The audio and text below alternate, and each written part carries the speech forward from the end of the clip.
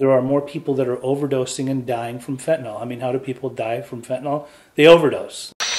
It's hard to not want to keep going back to it once you've actually tried it. Hello, everybody. My name is Pej. I'm a drug interventionist. I help people that suffer from addiction, alcoholism, and mental health. Uh, today, we're going to be talking about fentanyl and how it kills you, how it can kill you, what it's all about. Um, you know, speaking from personal experience, what I've seen is um, fentanyl has. There's like this latest craze. It's been about five or six, almost seven, eight years now that fentanyl has been used as an illicit drug, the drug that's being uh, distributed by people that are manufacturing it illegally, and it is being mass produced.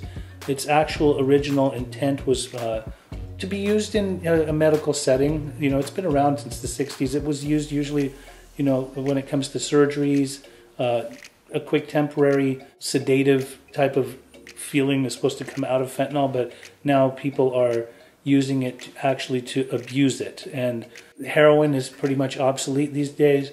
Uh, most of what's out there is actually cut with fentanyl, and then people have actually resorted to using straight fentanyl. Now, it comes in many different shapes and forms. There are blue pills that uh, many people are doing these days. A lot of people think that they're getting um, oxy, oxycodone, oxycontin that's actually fentanyl laced or straight fentanyl that's being pressed. Uh, there is actually powder now that's fentanyl, and then there's a rock form of it too. There's many different forms of it. Uh, for a while, uh, about 10 years ago, about a decade ago, they had the fentanyl patches and the fentanyl lollipops, which were being prescribed, but a lot of people that were, you know, addicted or had addictive behaviors would get the patches and open them up and use the fentanyl that was within there. Um, and and so what happened was uh, over you know the last decade now that we've been seeing it become more of a popular street drug. Uh, there are more people that are overdosing and dying from fentanyl. I mean, how do people die from fentanyl? They overdose. Uh, they don't know how much they're using. They don't know when it could happen. It's like Russian roulette. It could happen at any given time. Um, fentanyl is out there. Uh, you know, a lot of people are getting their hands on it. What it does usually to you, it's not even that it gets you high for very long. It sedates you. It basically puts you in a dreamlike state to the point where the euphoria is short-lived. You feel the euphoria when you're using it, and then you uh, nod off, and you nod off to the point where you you fall asleep, or sometimes uh, it's temporary sleep, and then you get up and you want to do more because it's it's captivating, if you will. My personal experiences with fentanyl uh, as an interventionist is I'm getting a lot more phone calls about people that are suffering. Um, I'm experiencing a lot of the youth of today, but not just the youth of today that are becoming addicted to this, but also adults, many adults, many teenagers that are not just experimenting with it, but becoming hardcore fentanyl addicts, users. It's you develop a dependency to this stuff if you try it almost immediately, and there's really no way out unless you get detoxed and you get off of it and make a decision to stop. And there's a lot that goes to that because because it has so much power over the individual uh, that uses it. It's it's hard to not want to keep going back to it once you've actually tried it. Okay, so when somebody usually uses fentanyl, it doesn't last all that long. It's about a couple of hours, a few hours if that, as I mentioned before, uh, you know, people will keep on wanting to do it. So obviously, to make it last longer, they keep using more and more. Uh, it's not just something that you do a little bit of and then you're good for a long, long time. Uh, usually, people are using it in excess for long periods of time repetitively.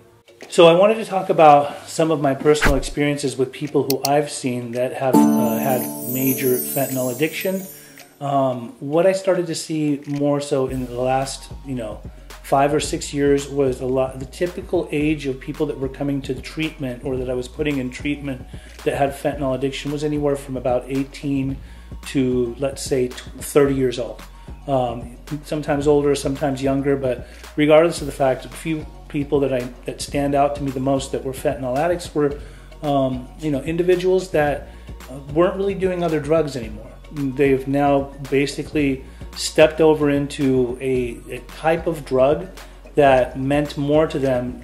The high that they were getting out of that meant more to them than anything else. I have seen uh, countless, I'm talking countless people come into my care who were straight fentanyl users. Some of them you were thinking that they were using other things, but when we tested them, they didn't realize that it was laced with fentanyl. And this is real, it's really happening. Um, there are uh, some of them that actually were in the recovery process that had gotten sober and were working on themselves, were doing everything that it takes. They were going to treatment, they were getting detoxified, they were going through the treatment process um, and then afterwards, they were even in aftercare. Some of them were even in sober living. Some appeared to be doing very well. You would see them start to thrive in their respective lifestyles. Um, they were rejuvenated. They were resilient. They had come back from from the gates of hell, which definitely fentanyl will do that. I mean, come on, let's be real. Not only does one individual die from it when they use fentanyl, which they most definitely will eventually, but you know all the things that come with it. You know, the family despair, uh, the pain, the anguish, the sorrow, the guilt, the shame, the remorse that one feels uh, when they're coming off of it, and then on top of that, the physical pain, uh, the emotional pain, the uh, the mental aspect where one is just so captivated that um, as much as they don't want to do it, they find themselves going back to it. Uh, there was a couple of individuals more recently that left a sober living uh, that had been sober for some time. One of them had 16 months of sobriety, and the other one had about eight or nine months. And they went and moved in together. And uh, obviously, they weren't taking the recovery seriously because one of them almost immediately was uh, under the influence of fentanyl that day. And when he went, uh, the other one followed suit. I guess the other one only was using alcohol and marijuana, but knew that his roommate was using fentanyl which was actually both of their drug of choices in the very beginning. And so uh, they started to cover for each other, and they were. Um, one of them was making a lot of money at his job. He was actually able to somewhat function in the workplace until his job started to figure out that he's under the influence, and um, and then they started to call him out. And this individual, for a while, as he was making money, was going to a dealer's house, which was uh, in a different city. It was in Long Beach, and these guys lived in Orange County, California. And uh, they were going to somebody who was distributing fentanyl. It was there was a person was selling a lot of it, and they called them the plug. They were going to their plug, and they were coming back and they were using it. And they were trying to function in everyday life, and uh, they were lying to everybody, to their family members. They were taking drug tests to prove that they were clean, but they were using fake urine. Anything they could do, they'd go to any lengths to be able to cover up their fentanyl addiction. And, you know, then there's the other ones too. There was another young man who I was interacting with for a while. I actually had him on one of my podcasts. Um, he was using many different drugs throughout his life, and but after a while, he had caught wind of fentanyl, and when he started using it, what would happen to him is, is he would sometimes overdose, and during his overdoses, he would have seizures. And as a result of a seizure, two different times on two different occasions, he ended up going into a coma. And both times after, you think like somebody comes out of a coma, they think like this is really serious, like my life is on the line. But both times after coming out of a coma, they ended up going back, and uh, he ended up going back and looking to get more fentanyl and was using it more. Um, it took a long time for him to get to a point, and after many overdoses, many life threatening overdoses, he, it took him a long time to finally get to a place in his life where he realized his life wasn't working for him. And then he ended up changing his entire life. He did go to detox.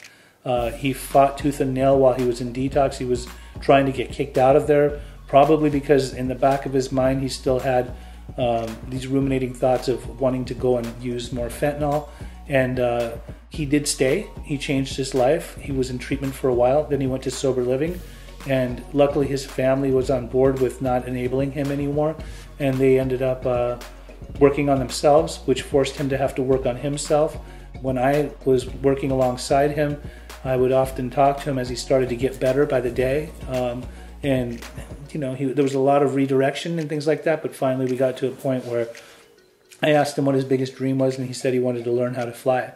And uh, so we did everything that we could. I told him, you stay sober, you, you do the work that's required in, in recovery, and uh, we'll try to get you into flight school. And sure enough, now it's been you know it's been over a year and a half sober. He is in flight school. He's he's learning to become a pilot. He's about to learn how to fly a plane on his own.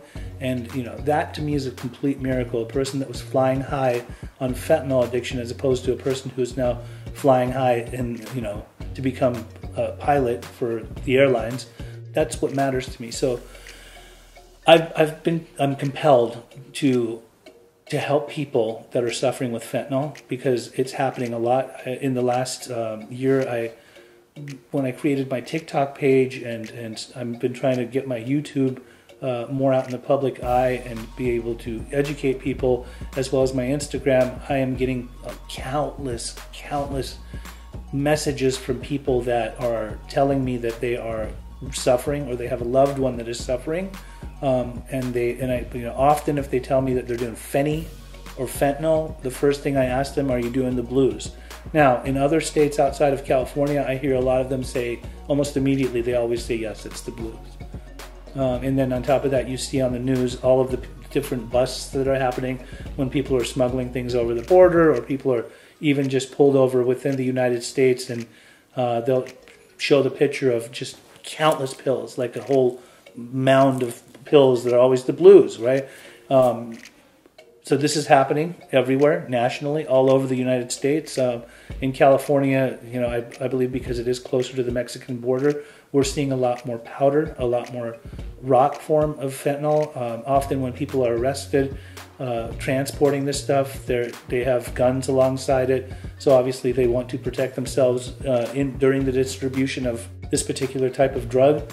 Um, you know, it's not coming from from big pharma. It's not being mass produced by uh, any kind of medical uh, facility or organization. This stuff is being illegally, illicitly uh, produced, made, manufactured, and distributed.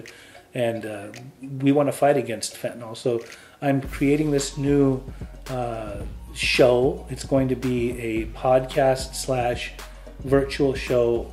It'll be starting on Fridays. In two weeks, I'm going to actually start it. It'll be called Fentanyl Fridays, the fight against fentanyl addiction. We will be having guests who are former fentanyl addicts who are going to be talking about their experience with fentanyl, how it started, uh, where it started, how they even learned about it, and uh, you know their the, the, progression of their drug addiction as well as the progression of their recovery and they, how they got over it. We want to try to help, uh, you know, put some hope out there and let people know whether they're family members or they have a loved one or even the loved one themselves is is looking to try to get off of this because usually when it comes to fentanyl, um, people really suffer. They suffer when they're withdrawing. They don't know how to live life any other way, so they will seek help um, some people don't have the the ability to be able to get into a detox. Some of them go to county facilities. Some of them do have the ability, so they go to a detox in a hospital or in a treatment center, a rehab facility. We help a lot of people get into certain rehabs or different hospitals, but if they don't actually go and get detoxed and they try to do it on their own in the home, more often than none, um, it becomes so painful emotionally, physically, mentally, that they will end up going and seeking out more fentanyl. And uh, Lord knows what measures they go to to try to get that the money to be able to get it. Um, but regardless of the fact, they usually don't even succeed throughout a detox within the home. Um, and then there are some people who will try to do it on their own with Suboxone, but there is the precipitated uh, withdrawal period between the time that you stop and if you don't have the, uh, you know, the medical staff or the appropriate comfort meds, then that could become very dangerous too for a fentanyl addict. So if you or somebody you know is suffering with fentanyl addiction, please do not hesitate to call. My number is 310-596-9356. Uh, and you can also click subscribe and check out some other videos that we have about other types of addiction and other types of drugs, alcoholism, mental health. Thank you for tuning in today.